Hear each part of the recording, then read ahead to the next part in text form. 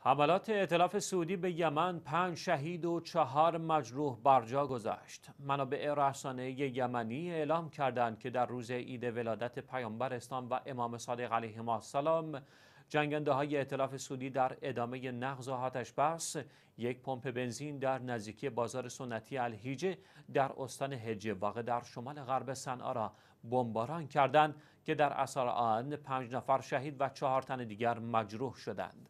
ائتلاف سعودی به سرکردگی عربستان هفته گذشته مدعی شد در راستای آمادگی برای مذاکرات صلح یمن که قرار است اوایل دسامبر ده آذر به بعد در شهر استکهلم سوئد برگزار شود.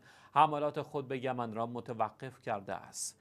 از سوی دیگر رسانه های یمنی اعلام کردند که جنگنده های اطلاف سعودی در ادامه نقض آتش بس مناطق مختلف بندر الهدیده شامل الجراحی و التهیدها را بیش از ده نوبت بمباران کردند که تاکنون از تلفات احتمالی این حملات جزئیاتی منتشر نشده است. عربستان سعودی با تدارک ائتلافی از برخی کشورهای عربی و با حمایت قدرت‌های بزرگ غربی از فروردین ماه سال 94 حملاتی ویرانگر را به یمن آغاز کرد.